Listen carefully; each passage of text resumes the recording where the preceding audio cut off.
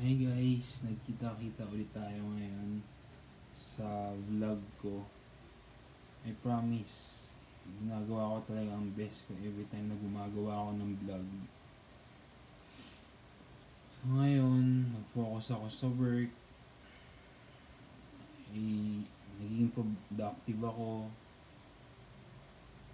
Ang passion ko talaga is kumanta at sumayaw.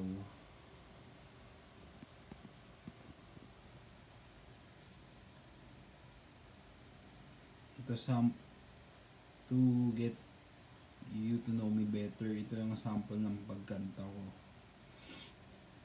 Someday we'll know if love can move a mountain.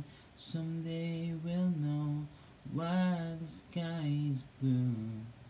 Yun. Ngayon talaga I I'm focusing on staying happy and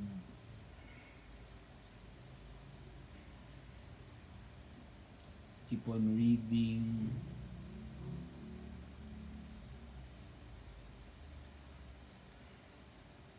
God is good talaga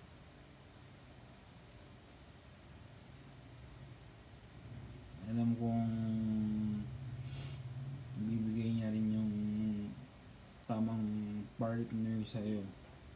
Ikaw rin, kung currently single ka, just believe in love.